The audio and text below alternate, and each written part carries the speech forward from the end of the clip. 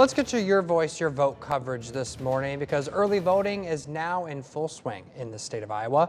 Right now, the League of United Latin American Citizens of Iowa says that they are offering help to more than 50,000 non-English speaking voters. They're doing it without help from the state. This year, LULAC of Iowa won a battle in district court, sealing the right to have voting materials in Spanish when needed. Iowa Attorney General Brenna Bird later appealed that court's decision, citing a law that says the state's official documents must be in English, including ballots.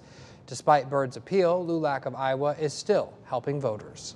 We're going to be working on printing that material. We're going to go to the federal site to print up the voter registration form.